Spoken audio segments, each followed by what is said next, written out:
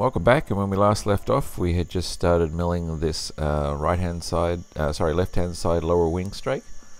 And so here we're a little bit further along, um, having done the face cuts on there, and then I set it up on uh, Wednesday evening, I believe, to run all the ball mill passes, and that took about, um, I think it was about 16 hours to do that whole of the wheel well there. And the guys already had the next platform ready for me, so this is the uh, left side um, upper wing strake um, platform there ready to be milled in foam.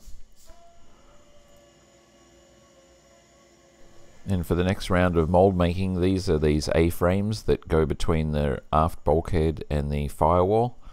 So the guys uh, laid up the uh, black top coat, um, actually using a brush this time just because it's quicker than uh, waiting for it to dry when you spray it. And this is uh, the next day after it's actually been laid the first layers on that uh, just the lightweight uh, fiberglass and lightweight carbon fiber. So they're ready for the heavy layers now.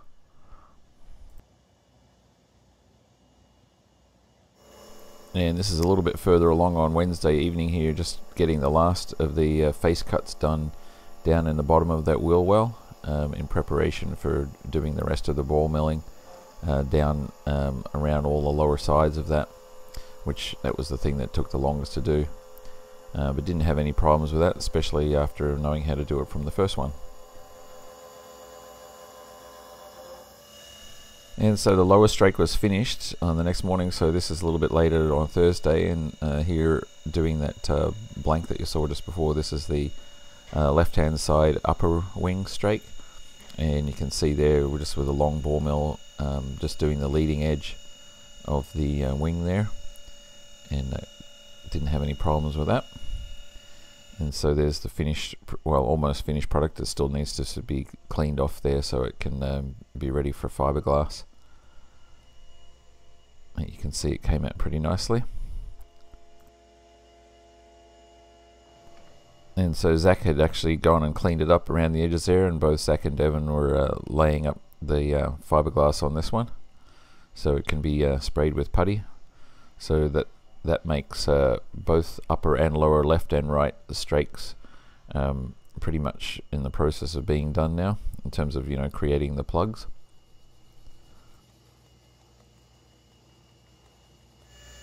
So this is the right hand side upper wing strake um, in putty ready to be have its final milling done. And this is just the first cut starting out here on one of the areas of the flange there so you can see Jeff's got just the right amount of putty on there. No low spots and not too deep. So that one um, just went fairly smoothly.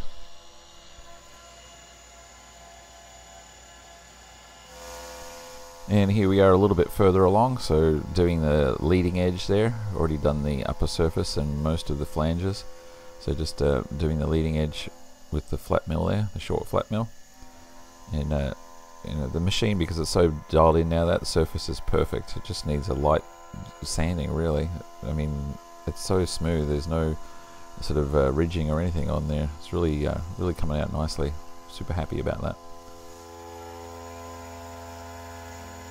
And there's the finished product uh, off the mill, sitting on the floor behind it, and in between the um, two lower strakes there that you'll see in a minute. So there's three different things there now that are ready for uh, their guide coat and uh, first round of sanding. But again not very much required there. And there's a closer look at the left side one um, with all the shaving sort of blown off there. And you can see how nicely that came out. And you actually see on the leading edge the little joggle in there where the top surface will overlap uh, the bottom surface. And here is the one for the right side. And again uh, that one came out uh, you know, very nice. Not not very much work required there at all to get that one uh, ready for the first uh, round of primer. And there you can see the guys have completed glassing this uh, left side upper wing strake one. So that one's ready to have the putty sprayed on there now. So this is good practice for us for when we're doing the rest of the wings. Um, we'll be using the same techniques and everything should go fairly smoothly. And here's a look at the first outer door frame mold that the five piece one that's been released now. So you can see all the different pieces in there. They still need to be uh, trimmed around the edges there but they came out um, nicely. It was a little bit tricky releasing the whole thing. Jeff had a little bit of a struggle with it but um, got it all uh, all the five pieces released without too much uh, sort of collateral damage to the plug or any of the parts of the mold. So that's that's a good uh, milestone for us there and this is the other one and Chris and Roberto are just finishing off um, putting some carbon fiber over those bushings. So that one uh, next week will be getting uh, released from its plug as well. So we'll finally be able to get those two large plugs out of the shop. One's actually already gone which is good. So made some more space and this one will be out of here uh, early next week Okay, so now that we've got the uh, upper and lower uh, surfaces done for the wing strake, the next thing to do is focus on the ribs there. And so here you are looking at uh, the inside of, of the strake, which is basically where most of the fuel is kept on both uh, left and right side. And so here I'm highlighting the various different uh, ribs, which also basically double as baffles in the tank to stop the fuel from slushing around. And there you can see I've separated them out from the model. So those are the those are the main parts. There's a couple more back, one on the back and one on the front. But anyway, these are the first set. And this is them uh, laid up, uh, ready to be milled. So just a flat flange and they've all just been turned so they're on their face. Um, added some little fillets around the corners there and laid them um, nicely out. So those ones are ready to mill now. And here we have the one that goes at the front of the tank and also the one that's on the back of the one that's attached or the leading edge is attached to the door and as you can see I've mirrored it. So there's left and right pieces there. So four pieces in total. And likewise there's the actual part that uh, sticks to or is bonded to the door skin to sort of make up the wing. And there it is laid out with left and right as one uh, particular plug ready to uh, ready to mill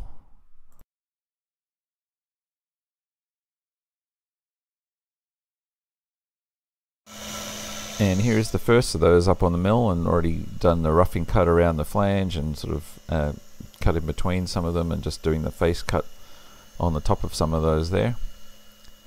And here you see a little bit further along the ball mill is being used to go around the edges and that um, gives us a nice little radius uh, not only on the top but on the bottom transition to the flat uh, flange there. And there you can see it's uh, running along there. So that one actually didn't take too long to do, only a couple of hours really um, to finish that one off.